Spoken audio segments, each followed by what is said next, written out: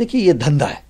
धंधा इस तरह से है कि जो वाहे गुरु की जगह होती है, गुरुद्वारा, कुछ गुरुद्वारों पर इन लोगों ने कब्जा कर लिया है और वहाँ से जो पैसे आते हैं, उसको गलत ढंग से ये लोग इस्तेमाल करते हैं, अपने ऐशो आराम के लिए, लेकिन भारत को भी डिस्टेबलाइज करने के लिए। और ये पता, उनको भी पता है, ये बात उनको भी पता है, मुझको भी पता है, बताया भी गया है।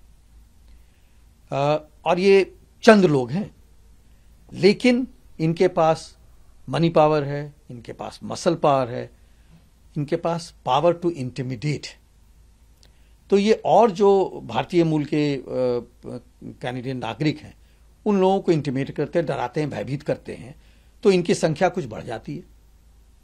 फिर भी पूरे जो हमारी इंडो कैनेडियन कम्युनिटी है बीस लाख की, उसमें से सब मिला जुला कर भी ये एक लाख से ज़्यादा नहीं है। लेकिन बाकी जो लोग हैं वो धंधा तो नहीं कर रहे हैं ना। वो बेचारे वहाँ गए हैं इंजीनियर हैं, डॉक्टर हैं ट्रेडर्स हैं, वो वहाँ पर सेवा देने गए हैं, एक पीसफुल ज़िंदगी बिताने गए हैं। तो वो नहीं चाहते इन लफड़ों में फंसना। ये चिल्लाते हैं, ये शोर करते हैं, ये दबाव डालते हैं पार्लियामेंट पे पार्लियामेंटेरियंस पे, और ये उनके लिए वोट इकट्ठा करते हैं। तो एक तरह से पॉलिटिकल नेक्सस तो है। ये तो आप मानकर चलें।